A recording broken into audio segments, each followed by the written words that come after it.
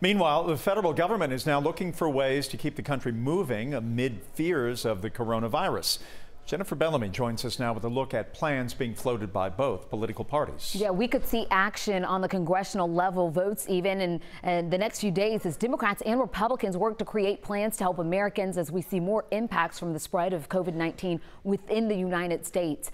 Leaders from both sides say they are trying to address immediate financial needs in impacted communities.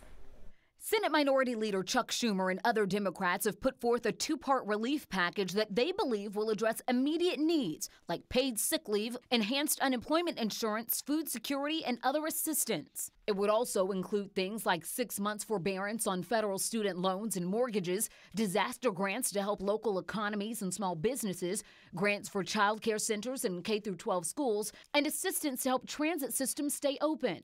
Meanwhile, the Trump administration has proposed getting rid of the payroll tax through the end of the year or at least the election. That's the money taken out of your paycheck to fund Social Security and other government programs.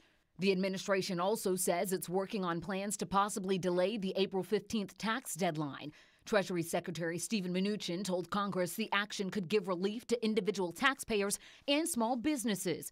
He said the administration believes a delay would put more than $200 billion back into the economy money that would otherwise go towards paying taxes at the usual deadline.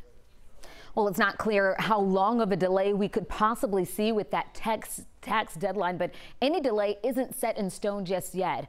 We could see votes on different measures proposed in Congress over the next few days.